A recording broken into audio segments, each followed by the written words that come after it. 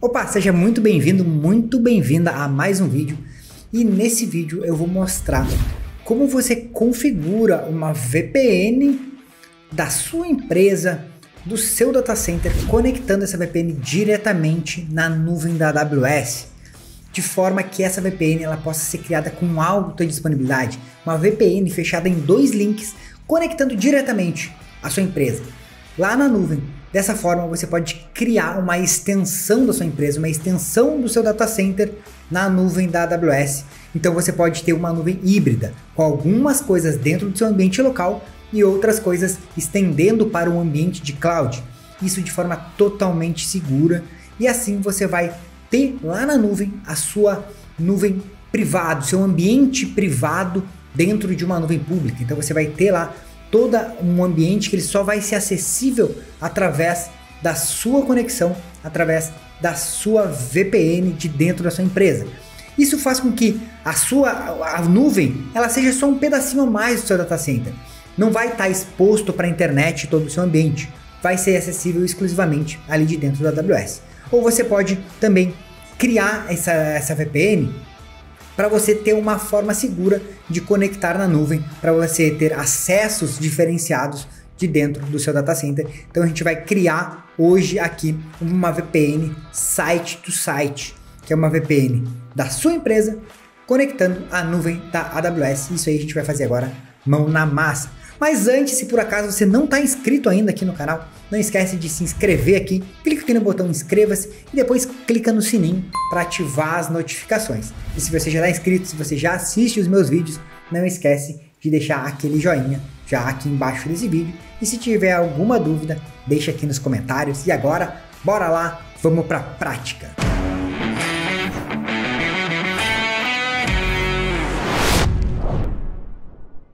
Bom, antes de começar a prática, eu desenhei aqui mais ou menos um. Fiz um desenho bem simples do que a gente vai fazer durante essa, esse vídeo. Então eu vou ter aqui no meu ambiente local, eu vou ter um servidor que vai ser o meu firewall. E esse firewall eu escolhi aqui para ser o meu cliente nessa ponta, o PFSense.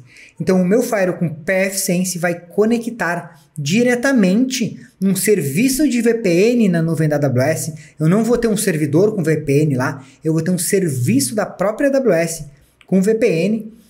E por que eu estou criando esse ambiente? Eu vou criar isso aqui porque aqui eu vou ter o meu ambiente local, então eu vou fazer um teste da minha máquina mesmo. Eu vou acessar este servidor Windows que está dentro da nuvem da AWS e isso aqui só vai ser acessível através desta VPN de forma mais segura, fazendo assim uma extensão então do seu data center. Então bora lá começar. Bom, então para isso eu criei aqui ó, um servidor, uma instância de servidor Windows dentro da nuvem da AWS. E você pode ver que esse servidor ele só tem um IP privado, um IP de rede interna. Então ele não tem IP público. Eu não consigo acessar ele de fora porque ele está sem um IP público. Se você não sabe como cria servidores, tem outros vídeos aqui no canal que você pode assistir depois para ver como criar um servidor Windows na nuvem da AWS. E para fazer essa configuração desse serviço, eu vou configurar um outro serviço aqui da AWS que é a VPC. Ele fica aqui, ó. Dentro da parte de redes, a gente tem a VPC. A VPC é o serviço que configura toda a rede na nuvem, todo o ambiente de rede na nuvem. Aqui nesse vídeo eu vou utilizar a VPC que já vem padrão dentro da AWS. Quando você for criar um ambiente de produção, o ideal é que você crie a sua própria VPC com as suas regras de segurança, mas esse não é o nosso objetivo aqui, então eu vou utilizar a VPC padrão. Se você olhar aqui dentro da nuvem da AWS, eu tenho essa VPC, minha VPC, e essa aqui é minha VPC padrão. Você pode ver que o IP dela ó, é 172.310.0/16. É o IP daquela nossa instância lá, ó. 172.31.89.197. Então, este, essa instância ela está dentro dessa VPC, automaticamente dentro de uma dessas subnets aqui. Então, vamos começar a criar minha, VPC, a minha VPN. A VPN na nuvem quando eu crio ela, eu vou me conectar em uma VPC, em uma rede. Então, eu vou precisar fazer essa configuração. Primeira coisa que eu preciso fazer, ó, uma coisa importante, tá? é, se você for fazer essa VPN, é, é importante você olhar a documentação para ver as, a parte de custos, quanto custa essa VPN para você implementar em produção. Aqui eu não vou falar nada sobre custos, mas é, é, importante você pesquisar e dar uma olhadinha na documentação da própria AWS ou algum vídeo aqui no nosso canal no YouTube que fale sobre precificação. Então eu vou vir aqui ó, em Virtual Private Network, VPN. E a primeira coisa que eu preciso criar é um Customer Gateway. Eu vou criar um Customer Gateway, vou colocar um nome aqui de VPN Cloud Treinamentos. Então, VPN Cloud Treinamentos. Essa minha VPN ela vai ser através de um IP estático ou através de roteamento dinâmico. A gente vai utilizar aqui roteamento estático. E eu tenho duas formas de fazer. Ou eu posso ter um IP público, eu posso apontar para o meu IP público, ou eu posso usar um certificado gerado aqui dentro da própria AWS. Nessa aula aqui, nessa, nesse vídeo, eu vou usar um IP público. Então, qual é o IP que eu preciso configurar aqui no meu Customer Gateway? É o meu IP de rede interna. Meu IP público, né? Qual é o meu IP público? Eu vou entrar aqui no site meuip.com.br. E ele vai dizer qual é o meu IP público.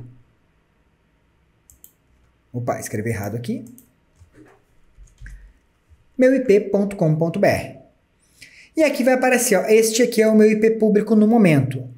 O link que eu tô, ele não tem o, meu, o link que eu tô, ele não tem IP fixo, então esse IP vai mudar, mas aqui para aula tá tranquilo, eu posso mostrar com este IP mesmo. Esse IP está redirecionando na minha rede local todo o tráfego dele para o meu firewall, o meu PFSense, que eu vou mostrar daqui a pouquinho. Então eu preciso pegar o meu IP público e aí sim eu venho aqui e coloco ele no meu Customer Gateway. Colo ele aqui, Create Customer Gateway. Perfeito, foi criado já.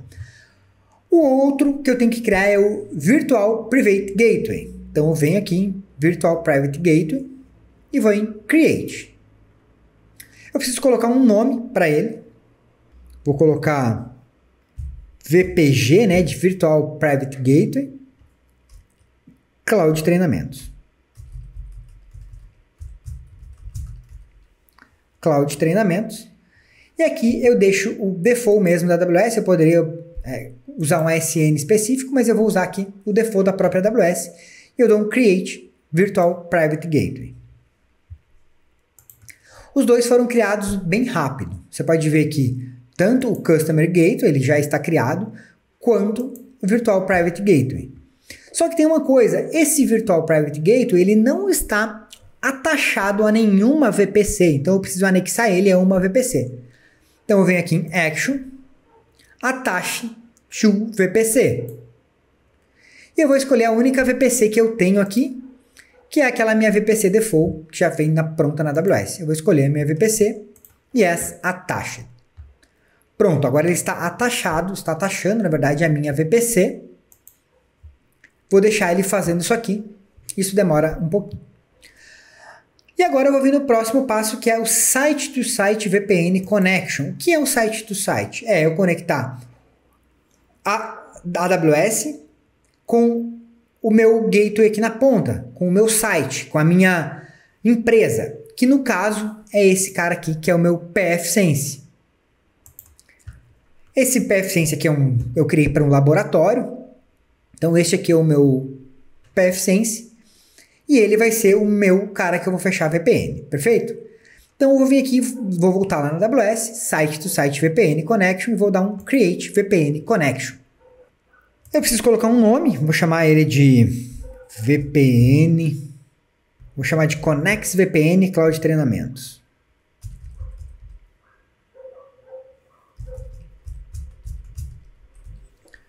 E aí ele vai perguntar, eu vou usar um Private Gateway ou um Transit Gateway. E aqui a gente está usando um Virtual Private Gateway. Então eu vou vir aqui e ele vai aparecer nessa lista aquele VPG que eu criei lá na frente, Virtual Private Gateway. Legal.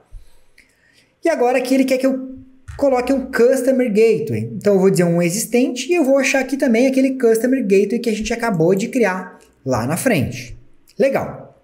Aqui o roteamento. Eu posso deixar o roteamento dinâmico Ou eu posso botar ele para trabalhar com roteamento estático. Aqui eu vou botar roteamento estático.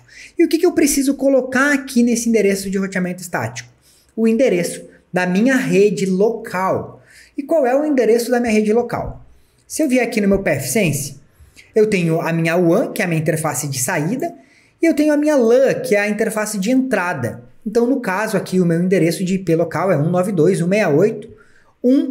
192.168.1.0, que é a minha rede. Então, eu vou botar 192.168.1.0, que é a minha rede. Então, eu vou botar aqui 192.168.1.0 barra 24, porque é a máscara, a classe da minha, da minha rede.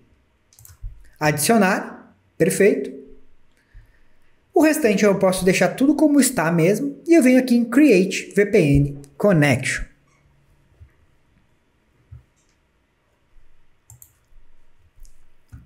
Ó, ele está criando a minha VPN. Esse processo ele vai demorar é, alguns minutinhos. Então, enquanto ele vai criando isso aqui, eu quero aproveitar para fazer um convite para você. Se você quiser aprender mais sobre cloud, se aprofundar mais em como criar ambientes com alta disponibilidade, outros tipos de ambiente, não apenas essa VPN, eu vou fazer um treinamento de uma semana, que é um treinamento prático, vai ser um treinamento ao vivo, mão na massa mesmo. A gente vai pegar um projeto inteiro que vai do início ao fim. E esse treinamento ele é um treinamento gratuito. E para você se inscrever, aqui na descrição desse vídeo tem um link. É só você clicar nesse link, coloca lá o seu nome e o seu e-mail, porque através desse e-mail eu envio para você é, as, o link das aulas quando começar. Vai começar agora nas próximas semanas. Então, faça seu cadastro aí e aí você vai poder fazer um treinamento completo de uma semana gratuito. Beleza? Então, ó, ele ainda está aqui no status de pendente. Vou, deixa eu atualizar, ó, ele está criando. Enquanto ele vai criar aqui, eu já vou começar a fazer a configuração do meu PFSense. Bom, então o que, que eu criei até agora? Eu simplesmente vim aqui e criei essa VPN aqui na nuvem da AWS. Agora, eu já tenho criado esse servidor, eu criei essa VPN. Agora o que eu vou fazer é configurar este cara aqui, esse PFSense que está no meu ambiente local. Então eu vou entrar aqui no meu PFSense, eu já estou logado nele. Você pode ver que ele está aqui no meu ambiente local, isso aqui é uma máquina virtual que eu criei para testes. E eu vou vir em VPN e PSEC. Então, aqui dentro do VPN PSEC, que eu não tenho nada criado, é onde eu vou criar o meu túnel. Uma coisa interessante, aqui ó, na VPN da AWS, é que quando eu configuro ela, vamos ver se ela ainda está independente, ele cria para mim dois túneis. Então essa VPN ela já é uma VPN com alta disponibilidade. Se eu tivesse dois links, eu poderia fechar dois túneis, um por cada link. Isso faz com que eu tenha uma VPN redundante, alta disponibilidade de VPN. Então, é um serviço já pronto da nuvem da AWS que já te entrega dois túneis para você fechar. Então, ou eu poderia fechar um de cada firewall por cada link, ou do mesmo PFSense fechar um túnel por cada link, mas eu não tenho dois links aqui para a gente testar, então eu vou fechar apenas um desses túneis. Beleza? Agora, o que eu preciso fazer para começar a configuração? Eu preciso vir aqui em cima, ó, onde ele está criando a minha VPN, vai ter uma opção de download das configurações. E quando eu clico aqui, ele tem já as configurações para vários tipos de equipamentos que eu posso fazer minha VPN. Checkpoint, Cisco, Citrix, é, Fortinet, Juniper, Microsoft, Microtik, OpenSwan. E um desses caras aqui é o PFSense. Ó, tem Sonic Wall, tem vários. Um deles é o PFSense. Eu vou escolher o PFSense. E a única versão que ele mostra aqui para mim é a versão 2.2.5. Se você estiver utilizando uma outra versão de PFSense, não tem problema, a configuração é a mesma. Tanto que você vai olhar, ó, a minha versão do meu PFSense aqui no momento, eu estou utilizando ó, a release 2.5.1 e a configuração que eu vou baixar aqui é a da 2.2.5 e vai funcionar perfeitamente. Então eu vou clicar aqui em download e ele vai baixar para mim um TXT com a configuração da minha VPN. Deixa eu salvar. Eu vou abrir agora esse bloco de notas e vou mostrar aqui na tela para vocês. Ó, o que, que, tem aqui? Aqui ele me dá a configuração do meu, dos meus dois túneis, ó, tanto do meu túnel 1, Ele vai me dar toda a configuração do meu pfSense, quanto do meu túnel 2. Aqui a gente só vai usar a configuração do meu túnel 1. Aqui ele explica em inglês mais ou menos como você deve fazer, mas agora a gente vai fazer juntos aqui para você ver como faz, beleza? Então fecho aqui, já fiz o download, vou lá no meu pfSense, VPN e PSEC. Eu venho aqui e dou um adicionar. E agora eu vou começar a olhar as configurações que eu tenho lá no arquivo de configuração. Primeira coisa que ele me fala é o manter desabilitado essa primeira opção, ó, eu não, não marco, beleza.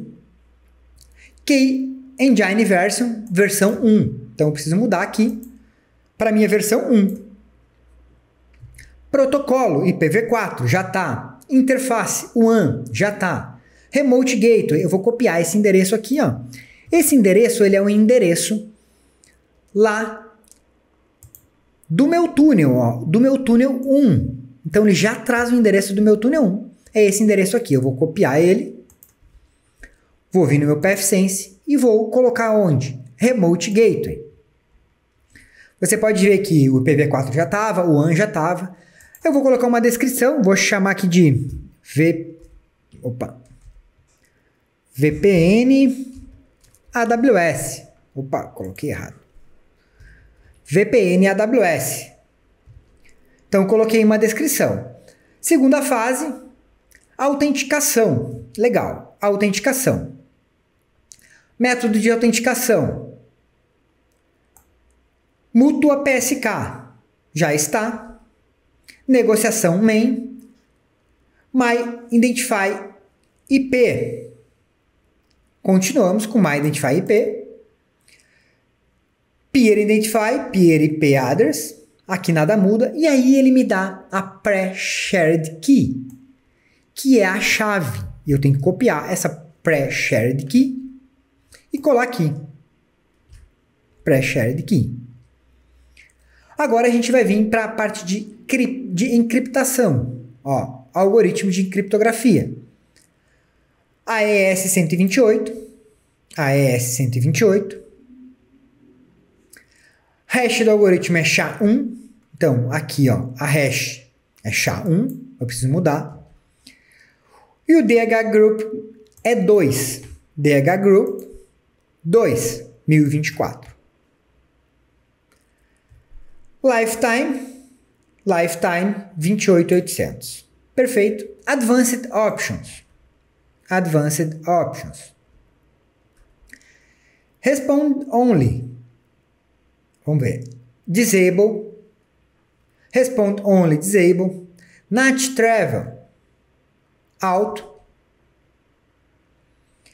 Deep Detection, Enable, já está. Delay 10 segundos. E o número consecutivo de falha, 3. E aqui está 5, eu vou mudar para 3. Salvei. Salvei. Aplicar. Aplicado. Agora a gente vai para a segunda fase ó, que é a configuração de PSEC. Então eu venho aqui, dou um show e clico em ADD. Vamos começar agora a segunda fase da nossa configuração.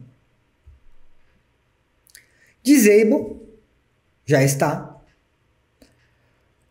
Mod Tunnel, Mod Tunnel IPv4, perfeito. Local LAN, Remote Network. E aí aqui eu preciso colocar Remote Network. Eu preciso colocar o endereço de rede lá da minha VPC. Então eu vou lá na minha VPC. Your VPC. E eu vou pegar o meu endereço de rede. Esse aqui é o endereço de rede da minha VPC. Vou copiar. Vou copiar só o endereço. Vou vir no meu pfSense e vou colocar aqui, ó, network, vou colocar meu endereço de rede e vou colocar minha máscara, que é um barra 16. Então ficou um 72.31.0.0 barra 16. Vamos ver o que mais a gente tem na nossa configuração. A descrição. AWS VPN. Coloquei a descrição e agora ele vem para a segunda fase, que é o protocolo ESP. Protocolo ESP. Agora, o algoritmo de criptografia vai ser o AES-128. AES-128. Esse aqui eu vou desmarcar. O hash vai ser, vai ser o SHA-1. Então, hash vai ser SHA-1. Eu mudo aqui. E o PFSK Group vai ser 2. PFSK Group vai ser 2. Lifetime 3600. Perfeito. E aí eu vou dar um save. Aplicar. Vou dar um show aqui. Então as minhas configurações já estão feitas aqui na VPN. Agora vamos ver se deu certo.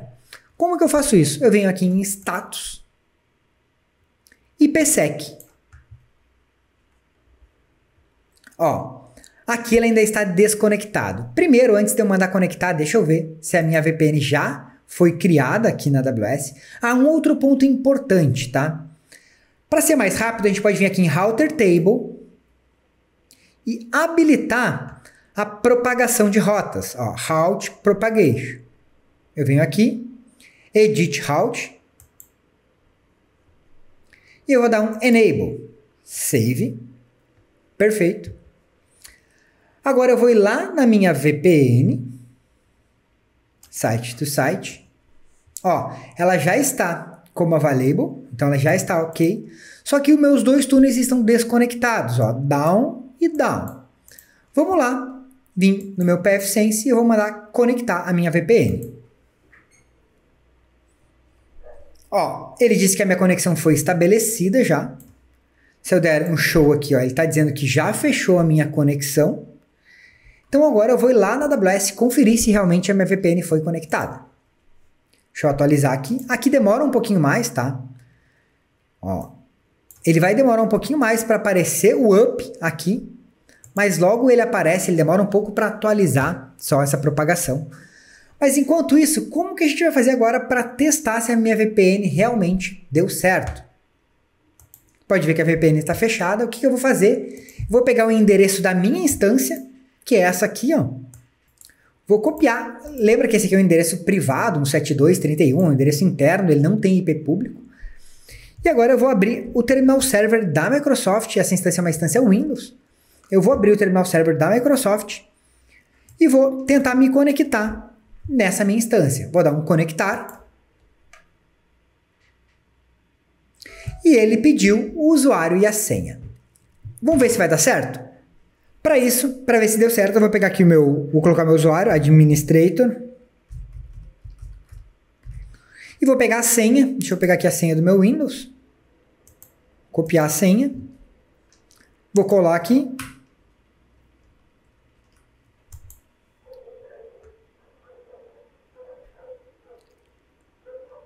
Coloquei usuário errado.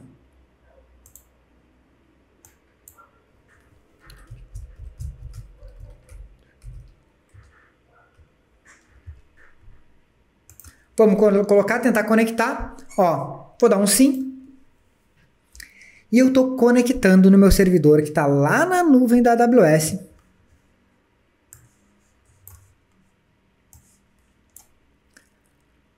Ele está conectando no meu servidor que está lá na nuvem da AWS através de uma rede privada. Esse servidor está totalmente seguro porque ele está só dentro da minha rede. Eu estou passando por uma conexão de VPN.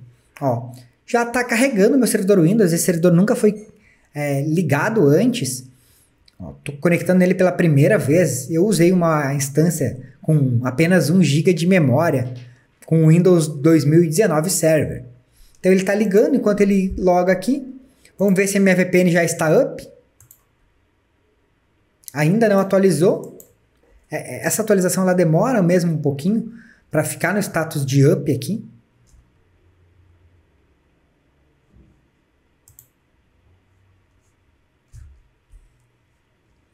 E aqui está o meu servidor Windows que eu acabei de me conectar através de um IP privado dentro da nuvem da AWS. Aqui pelo PFSense eu consigo olhar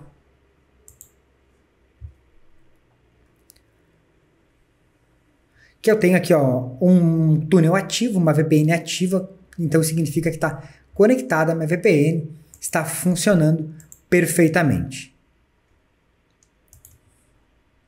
Ó, agora sim, a minha VPN já está up, então ele fechou meu primeiro túnel. E se eu tivesse um outro link, eu poderia fechar um segundo túnel e rodar com esses, essas duas VPNs rodando em paralelo e ter uma VPN com alta disponibilidade. Bom, se você gostou desse vídeo, não esquece de deixar aquele joinha aqui embaixo se inscreve aí no nosso canal e não esquece de se inscrever no treinamento gratuito que eu vou fazer de uma semana. É uma semana de aulas ao vivo, cara, mão na massa mesmo. A gente vai criar um ambiente do zero em cloud, usando a nuvem da AWS e colocar algumas aplicações para rodar em alta disponibilidade. Você vai ver muito mais do que você viu aqui. Beleza? Então é isso aí, a gente se vê no próximo vídeo.